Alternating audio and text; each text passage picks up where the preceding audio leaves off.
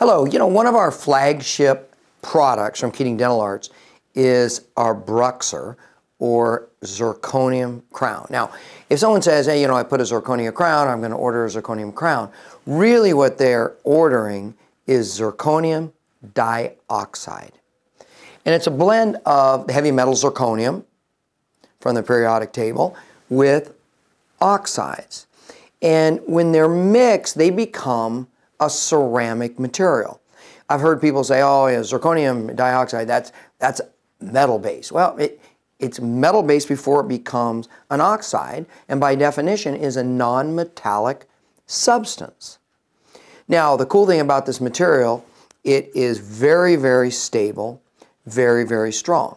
In fact, the zirconium dioxide that we see with our KDZ Bruxer actually gets stronger as it gets stressed.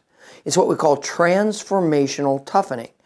And as you apply pressure or force on the restorative material, the zirconium dioxide, you actually get increased cross-linking of the material, which eliminates further propagation of fractures, which is why we see traditional ceramics or ceramic on metal break under stress.